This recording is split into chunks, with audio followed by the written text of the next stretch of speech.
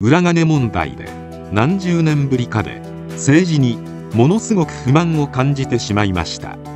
すっかり安心しきっていたのですね。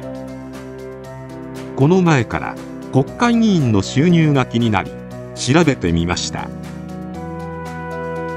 国の最高の機関の議員ですからやはりそれなりの給料ですね。給料の他に払われるこの2つは使途の報告不要税も不要のようです。これはいずれも多額でなのに使途の報告も不要とのことで庶民感覚では到底納得いきませんね。個人の給与の一部になっているのではと疑いたくもなります。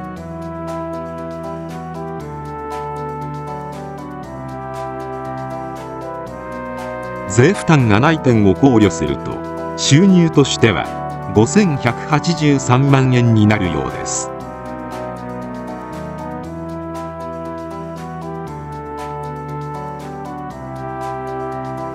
さらに毎年国から党に対して政党交付金が支払われます。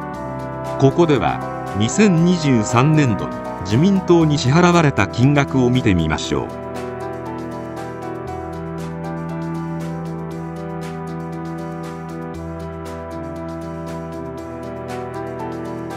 政党交付金の使途の報告は必要ですが使途は政党の政治活動の自由を尊重する観点から制限してはならないとなっているようです。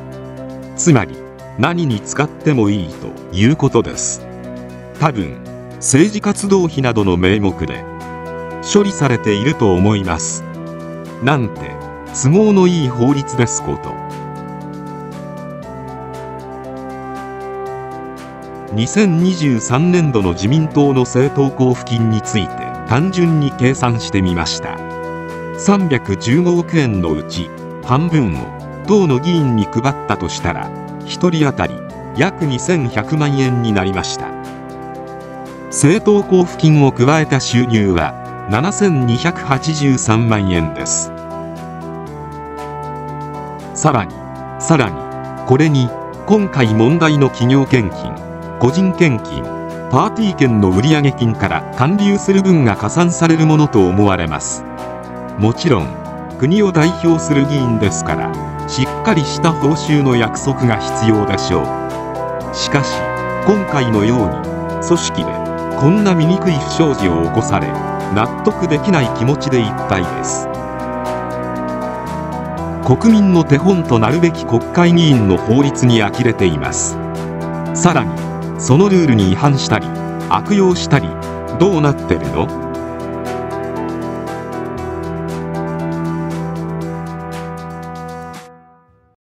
偉そうですがここからは言いたいことを述べておきたいと思います。多分今回庶民がおとなしく知っていると将来とてつもない悔いにつながるような気がしてなりません。一つ国会議員に関係する法律は国会議員ではなく別な機関が作成するようにした方が良い。国会議員の都合のいいように作られている。反対する議員がいない。国民感覚とかけ離れたルールが多い。一ついくらなんでもこれで済むなんて機密費じゃあるまいし資金使途を問わない。政策活動費や政治活動費で OK 領収書はいらない。こんなことをしているといつしか議員の財産づくりになっているかもしれない。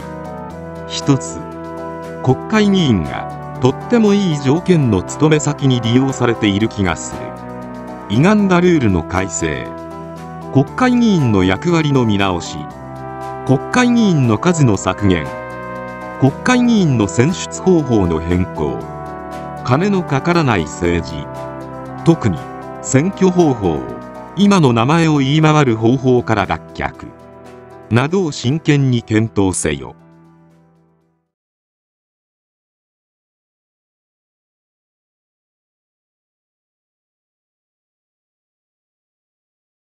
ご視聴ありがとうございました。